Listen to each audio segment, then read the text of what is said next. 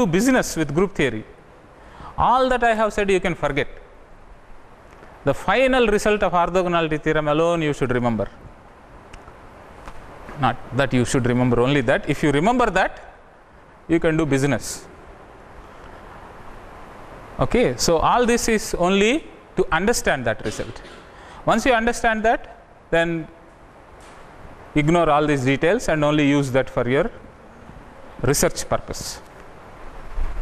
Yeah, any matrix.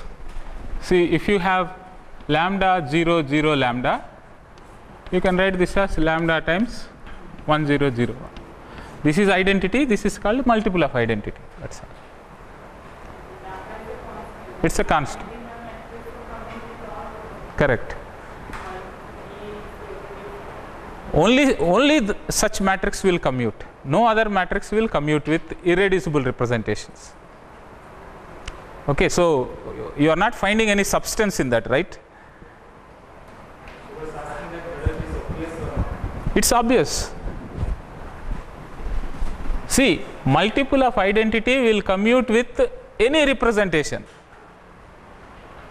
But if that is the only one that commutes with representation, then it is irreducible representation. General representation, there will be other matrices also which will commute.